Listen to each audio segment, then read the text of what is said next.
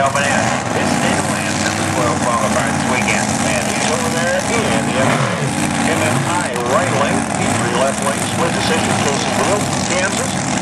Technical Design Solution, Cooper Ruskin, Shirley Shannon, Missy Evan, Riley, Liz, Leah, and Ava. And he was 2003 Vermont.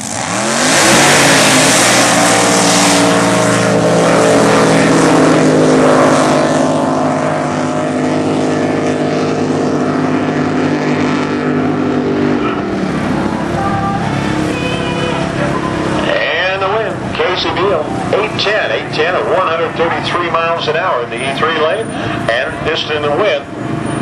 And over here on this other side, we had Jeff Lawson, 793, 132 mile an hour.